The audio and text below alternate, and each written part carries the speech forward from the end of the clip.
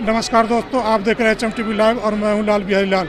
आज बदरपुर में चौधरी राम सिंह नेताजी की ओर से बदरपुर क्षेत्र के बदलते राजनीतिक परिवेश के उपरांत विचार विमर्श के लिए आम सभा का आयोजन किया गया है। इसी संदर्भ में यहाँ के महिला मोर्चा के ब्लॉक अध्यक्ष माननीय सोनिया ठाकुर जी से मैं बातचीत कर रहा हूँ। आयोग बताइए तो इस सभा का आयोजन करने का मुख्य उद्देश्य क्या है?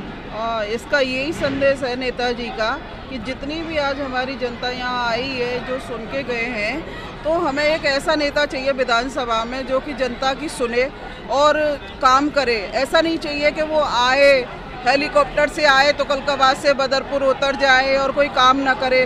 खाली हेलीकॉप्टर से आने वाले नेता दिखावटी होते हैं, बल्कि वो कभी जनता की नहीं सुनते हैं।